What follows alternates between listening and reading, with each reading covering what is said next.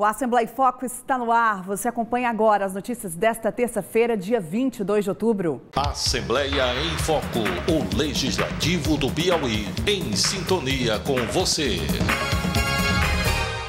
A deputada estadual Tereza Brito, do Partido Verde, presidente da Comissão de Saúde e Educação da Assembleia Legislativa, anuncia visitas dos parlamentares, membros da comissão, a dois hospitais da região norte do estado. Fazer essa fiscalização, vistoria, ver quais são os problemas que afligem a população no atendimento dentro desses hospitais, que é o Hospital de Barra, Barras e o Hospital de Piripiri, Chagas Rodrigues e esperamos que os problemas que tenham lá, é, nós possamos sim estar encaminhando para o secretário e que ele possa resolver. É, é esse o nosso objetivo com essa fiscalização. Queremos, até o final de janeiro, concluir todas as visitas desses hospitais estaduais e também esses hospitais de pequeno porte, pelo menos parcialmente, é, aqueles que estão mais precários, que tem havido mais solicitações.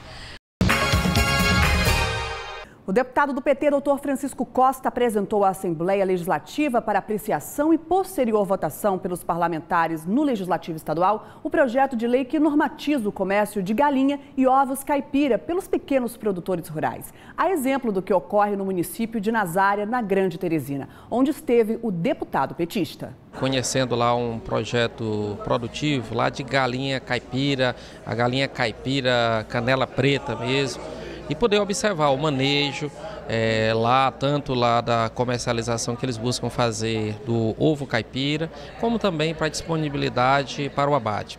E perceber também as dificuldades que os pequenos produtores enfrentam. Lá eles me relatavam a dificuldade que existe na hora da comercialização porque existe todo um regramento, uma legislação da área de fiscalização que é apresenta certificação apenas para quem produz acima de mil galinhas. Né? E quando você tem os pequenos produtores, que é os que têm menos de mil, apresentam aí essa dificuldade, porque não existe uma normatização adequada e isso acaba inviabilizando a comercialização que muitos agricultores familiares poderiam estar fazendo. E é isso que a gente está estudando, tratando. Tivemos lá também a visita da Embrapa, juntamente também com o Ematé, aqui do estado do Piauí, para que juntos a gente possa colocar aqui o nosso mandato à disposição para construir aqui um novo regramento, uma normatização que facilite, que não gere entraves e dificuldades para o agricultor familiar, mas que passa a gerar para eles a oportunidade que quem tem condição de ter uma produção maior, mas que ainda abaixo do que hoje é regulamentado, possa assim ter as condições devidas para que não seja um um, um prejuízo que eles hoje produzem, mas não conseguem levar à comercialização. Você acompanha agora as notícias direto do Parlamento Estadual.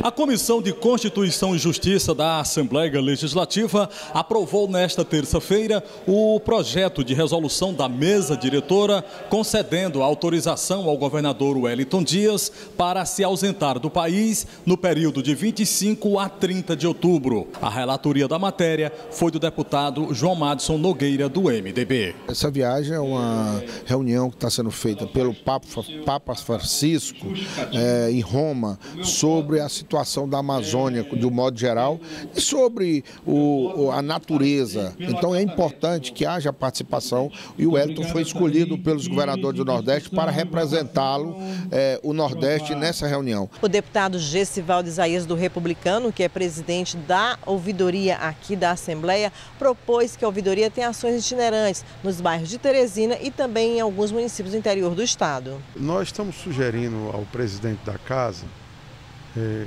nós é, levarmos a Assembleia para perto da população. Nós teríamos um, um, carro, vamos dizer, uma van. Essa van, ela seria da ouvidoria da Assembleia Legislativa, né? então ouvidoria da Assembleia Legislativa, e, e nós iríamos até os bairros. Né? É, não obstante, nós começaríamos também pelos maiores municípios. Vamos pegar esse final de semana vamos a Parnaíba.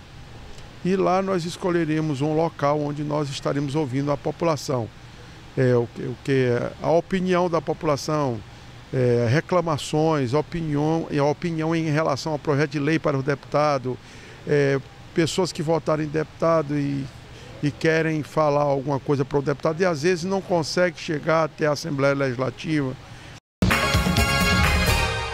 o Assembleia em Foco está ficando por aqui, mas continue nossa programação acompanhando essas e outras informações sobre as ações do Legislativo Estadual na TV Assembleia no canal 16.1, Sky HD pelo canal 316.1, Vivo pelo canal 9, NET pelo canal 7 e Oi TV pelo canal 215, além da Rádio Assembleia na frequência 98,3 FM e no site alep.pi.gov.br.